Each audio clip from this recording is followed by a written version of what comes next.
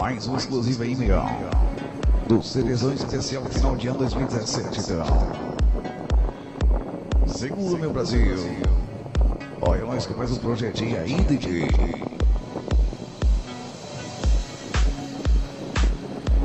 Mais um Cerezão dedicado à galera da vida noturna aí. Galera.